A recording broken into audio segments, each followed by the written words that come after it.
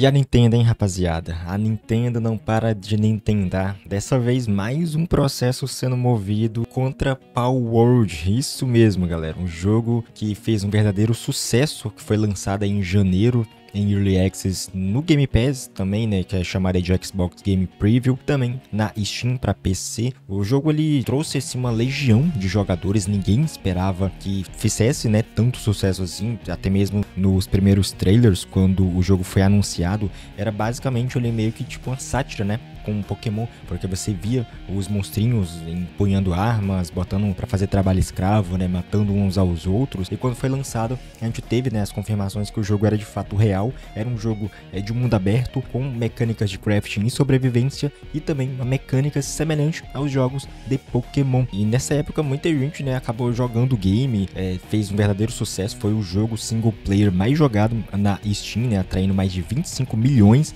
de jogadores nesse período e um pico de mais de 2 milhões né, de, de, jogadores simultâneos. Eu acho que somente aí o Black Myth Wukong conseguiu bater recentemente essa marca que foi imposta por Power Word por vários meses e agora a Nintendo finalmente ela deu aí uma declaração, né, movendo uma ação contra a Pocket Pair, que é a empresa responsável por Word, e conforme descrito essa ação, o motivo seria por violações de direitos de patente. A gente sabe que a Pokémon, ela tem a propriedade intelectual ali, né, todos os monstros, todos os designs e tudo é, pertence à Pokémon Company e também a uma parte à Nintendo, e na época que Word foi lançado, muito se questionou a respeito do uso de frames, né, caso de esqueletos ali dos monstros, para serem modificados para fazer ali as criaturas de Power. E querendo ou não, se você colocar lado a lado alguns monstrinhos, tanto de Pokémon quanto também de Power Word, você percebe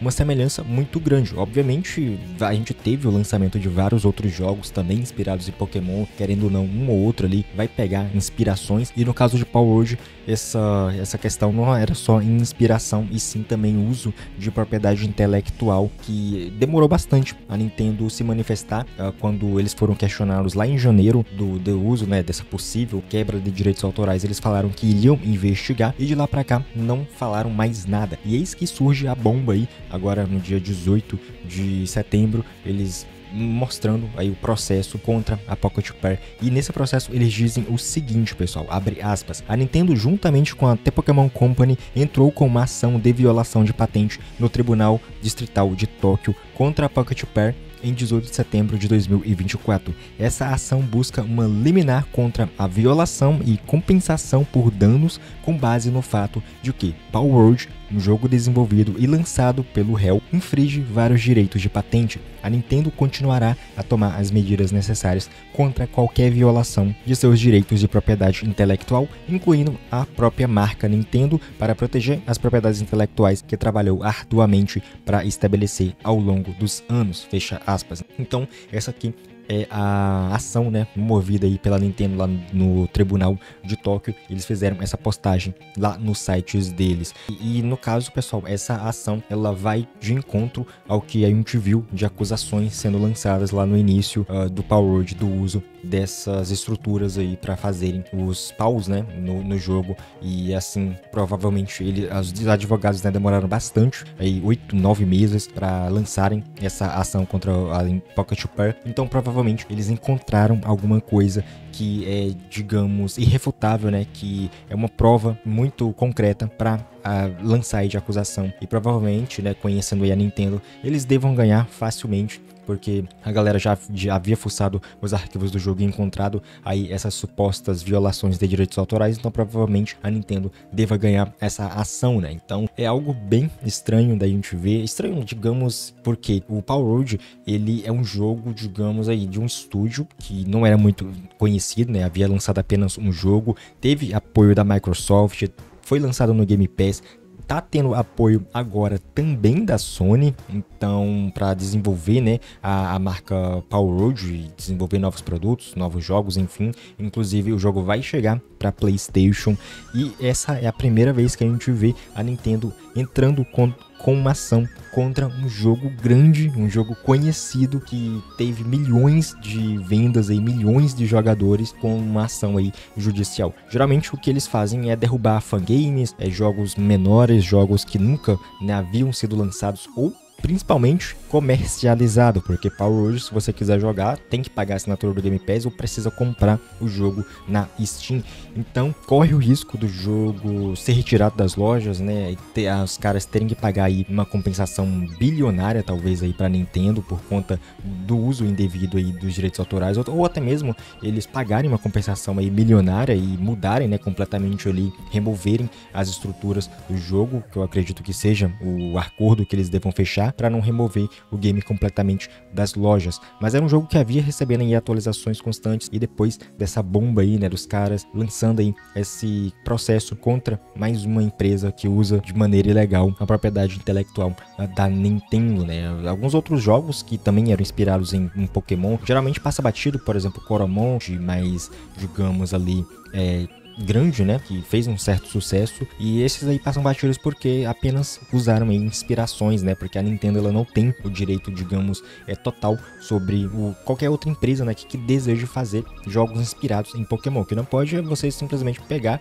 né? Toda ali a estrutura do jogo Pokémon e colocar nesse novo jogo, que foi o que aconteceu aí com Paul Road. E provavelmente isso vai dar muito ruim aí para o pessoal da Pocket Pair, né, vão ter que se resolver nos tribunais com a Nintendo. E entra novamente, né, pessoal, aquela discussão que eu sei que muitos de vocês aí devem comentar que os caras simplesmente não querem lançar um jogo de Pokémon bom, querem remover todos os jogos né, inspirados que são bem melhores do que o jogo original lançado aí pela Game Freak. Eles tiveram muitas possibilidades de lançar um jogo de Pokémon decente na geração do Nintendo Switch. Acho pouco provável que a gente vá ver um jogo de Pokémon realmente interessante, realmente divertido, que tenha inovações e que consiga elevar, né, ou usar todo o potencial do próximo console do Nintendo Switch 2. A gente ainda vai continuar recebendo jogos meia boca, aqueles jogos que são feitos de qualquer forma apenas para farmar dinheiro, né? Porque geralmente é isso que acontece. A Pokémon Company tá pouco se lixando para os fãs que eles têm. Eles lançam qualquer coisa aí que vai vender milhões de unidades. Eu sei que muitos aí que tem Nintendo Switch, ah, não vou comprar Pokémon dessa vez. Olha só como é que tá os gráficos horríveis, gameplay datada, é o mesmo sistema